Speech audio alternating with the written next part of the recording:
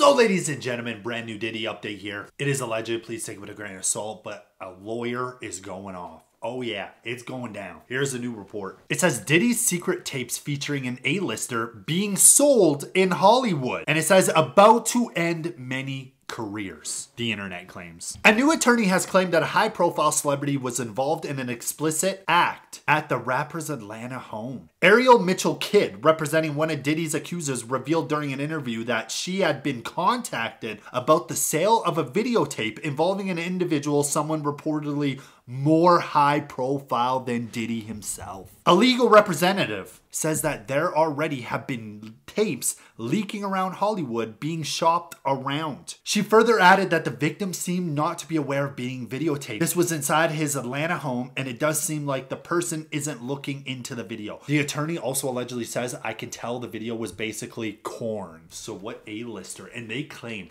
that this person is even bigger than Diddy himself. This is the top of the top. This is the A's of the A's. This whole Diddy situation is about to explode. I seriously feel it, man. I don't, there's gonna be so much said, so much done. This is crazy.